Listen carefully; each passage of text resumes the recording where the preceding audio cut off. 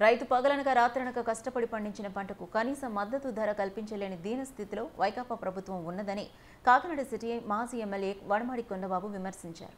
Thirteen. Telugu Desam party రాష్ట్ర వ్యాప్తంగా నిర్వహిస్తున్న రైతు కోసం తెలుగుదేశం కార్యక్రమంలో భాగంగా కాకినాడ సిటీ మాజీ ఎమ్మెల్యే వనమాడి కొండబాబు ఆధ్వర్యంలో బుధవారం జిల్లా తెలుగుదేశం పార్టీ కార్యాలయం నుండి జిల్లా కలెక్టర్ కార్యాలయం వరకు రైతులకు మద్దతుగా నిర్వహించిన పాదయాత్ర కార్యక్రమాన్ని పోలీసులు అడ్డుకున్నారు.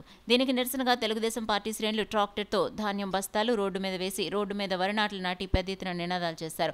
అనంతరం జిల్లా కలెక్టర్ కార్యాలయానికి చేరుకుని డిఆర్ఓకు వినతిపత్రం అందించారు. ఈ సందర్భంగా కొండబాబు రైతు భరోసా కేంద్రాలు వైకప్ప దగా కేంద్రాలుగా ఏర్పడ్డాయని పంటకు మద్దతు ధర కల్పిస్తున్నామని చెబుతున్న వైకాపా ప్రభుత్వం అమలు కానీ జగన్ మోసపూరిత హామీగా మిగిలిపోయిందని జగన్ రెడ్డి రైతులకు ఇచ్చింది గోరంత ప్రచారం కొండంత ఉందని నేడు విత్తనాలు ఎరువుల కొరతతో రైతులు ఇబ్బందులు పడుతున్నారని ఎరువులు విత్తనాలు కూడా వైకప్ప నాయకులు బ్లాక్ మార్కెట్లో అమ్ముతున్నారని వ్యవసాయ మంత్రి ఉండి కూడా రైతులకు ఒరిగిందేం లేదని విమర్శించారు. కార్యక్రమంలో మొట్టమొదటిగా దేశంలో ఎవరు కూడా ఆలోచన చేయలేదు.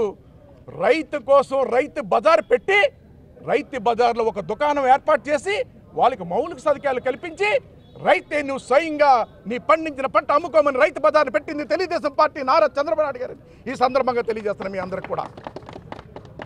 ప్రతి పట్టణంలో ప్రతి పల్లెటూరులో రైతు బజార్లు ఏర్పాటు చేస్తారండి మీకు అందరికీ తెలుసు.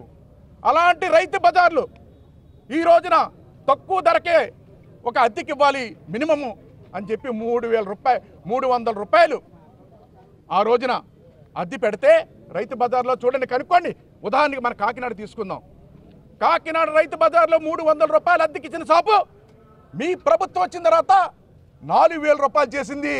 మీరా మేమా రైతు కోసం ఆలోచించామని ఈ సందర్భంగా తెలియజేస్తున్నా. ఒక్కసారి చూడండి. నాలుగు వేల రూపాయలు అద్దె చేశారండి. ఈ రోజున మేము పెట్టిన రైతు బజార్లే తప్ప రైతుకి రైతు బజార్ ఎక్కడ కనపట్లేదు ఈ రోజున. దళారులు కనిపిస్తున్నారు ఈ రోజున. అందుకే ఈ రోజున చెప్తున్నా రైతు కోసం తెలుగుదేశం కార్యక్రమం తీసుకుని రైతు భయపడుతున్నాడు భయపడకుండా ధైర్యాన్ని ఇచ్చి ఈ రోజున రైతు పక్షాన్ని నిలబడాలని ఈ కార్యక్రమం తీసుకున్నాం. ఈ రోజున ఈ ప్రభుత్వం రైతుల కోసం ఆలోచించడం లేదని చెప్పడానికి ఉదాహరణ. ఈ రైతులు ఎంత ఇబ్బంది పడుతున్నారు. కేంద్ర ప్రభుత్వం సహకారం చాలా ఉంటుంది. ఏనాడన్నా కేంద్ర ప్రభుత్వం పైన రైతులపై ఒత్తిడి చేశారండి మీరు? మేము మేము మా ప్రభుత్వం ఉన్నప్పుడు అనేక కార్యక్రమాలు చేస్తాం. అధికారులు లేనప్పుడు కూడా ఒక విషయాన్ని గుర్తు చేస్తాను ఈ రోజున. ఈ రాష్ట్ర ప్రజలకి మన జిల్లా ప్రజలకు కూడా ఒక విషయాన్ని గుర్తు చేయాలి. ఇదే క్రాప్ హాలిడే ఆ రోజు ప్రతిపక్షంలో ఉన్నాం. రాజశేఖర రెడ్డి గారు ముఖ్యమంత్రిగా ఉన్నారు.